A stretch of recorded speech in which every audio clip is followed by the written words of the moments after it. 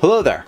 My name is Doug Hills, and I'd like to welcome you to Clip Studio Paint 105. This course is designed to help you create your first animation in Clip Studio Paint. Much like I did with the Clip Studio Paint 101 course, this course is intended for those of you who are either brand new to animating in Clip Studio Paint or brand new to animating in general. So my goal for this is to help you become comfortable with the tools and functions needed to create your first animation in the program, and hopefully encourage you to explore the program further and see what else you can do as far as creating animations. First, we'll begin by adjusting and registering our workspace for animation. Then I'll explain how to create your first animation canvas. Next, it's all about animating.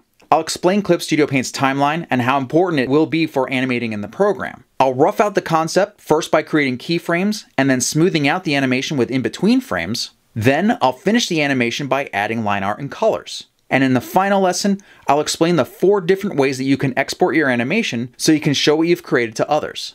I'm really looking forward to showing how you can create your first animation in Clip Studio Paint, and I hope you'll enjoy the journey. So, let's begin.